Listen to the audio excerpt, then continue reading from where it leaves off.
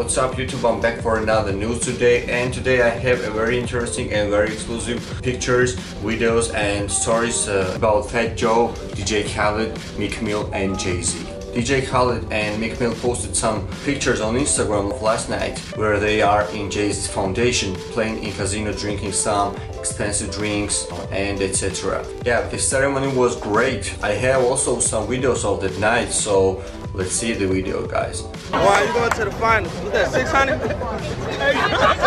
Where you on Yeah, that? this night will be Jacob? great. Oh, shit. That shit look good. Oh, shit, that's enough. 150 on the table, 150 on the table. I got 150 on the table. And she got an ace.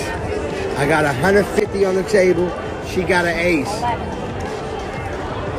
They're trying to discourage me. I don't see it.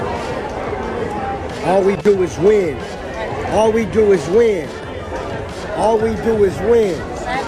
All we do is win. All we do is win.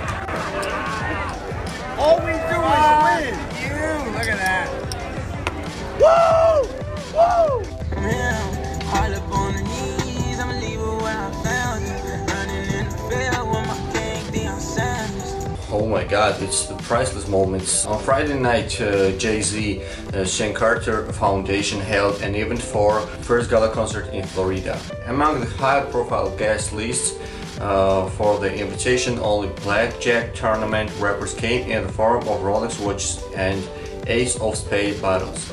Rappers Fat Joe, Yo Gotti, Meek Mill, DJ Khaled, and of course Jay-Z. If we see this picture guys, I think Jay-Z wins there a huge money, millions for sure, his mouth and emotions tells us that I'm true. Thanks for watching guys, it's Hip Hop Channel WHY TV, if you like my videos and content please subscribe to the channel and goodbye, peace.